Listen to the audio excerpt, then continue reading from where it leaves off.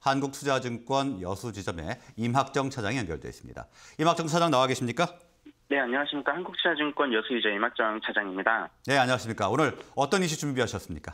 네, 오늘 추천 종목은 SKC입니다. 결국은 견고한 본업과 그 동박 반도체 소재의 성장으로 그 주가 상승 예상이 되고 있는 종목이고요. 그 고부가 그 피지 이익 비중이 65%까지 확대가 됐고, 그리고 specialty 중심의 포트폴리오 비중 확대, 그리고 타이트한 PG 수급이 지속되면서 높은 수익성이 예상이 되고 있습니다. 그리고 동박은 육공장 상업 가동에 따른 판매량 증가와 고부가 중심의 제품 mix 개선으로 실적 성장이 지속될 전망이고요. 그리고 성장 사업 중심의 비즈니스 모델 혁신을 통해 최근에 체질 변화를 성공적으로 추진 중에 있습니다.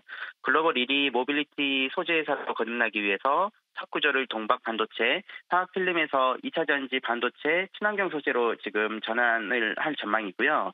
그리고 실리콘 음극재 투자, 그리고 high nickel 양극재 진출로 인해 차세대 배터리 소재 기술력을 확보할 전망입니다. 그리고 반도체 소재는 blank mask, 글라스 기판으로 사업 범위를 확대할 계획을 가지고 있고, 최근 고객사 다변화, 그리고 신규 사업 모멘텀이 긍정적으로 지금 작용할 전망입니다. 최근 중국 메이저 업체에 대한 동박 공급을 시작하며 고객사 다변화를 이루고 있고, 그 2차 전지 소재 업체들이 최근 주가 하락이 좀 컸었는데, 오히려 저가 메리트가 큰 상황이고, 그 목표가는 16만 5천 원, 손절가는 13만 원 제시하도록 하겠습니다. 네, SKC 분석을 해 주셨는데요. 신규 사업 모멘텀이 긍정적으로 작용을 하고 있다 이렇게 말씀을 해 주셨고 목표가는 16만 5천 원 제시를 해 주셨습니다. 자, 어제 그제 그리고 상승을 했는데 오늘 어떤 전략을 준비를 해야 될까요?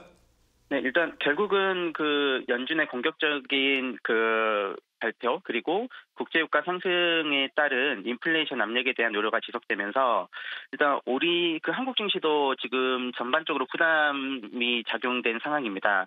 그리고 추가적으로 연준의 긴축 속도가 빠르게 전개될 것이라는 점도 외국인 수급의 부담으로 작용할 수밖에 없는 상황이기 때문에 일단 오늘은 한 0.5% 이상 하락 출발 예상이 되고 있고 결국은 4월, 5월 실적 개선 종목으로 인해 종목 장세로 대응을 해야 되지 않나 판단이 되고 있습니다.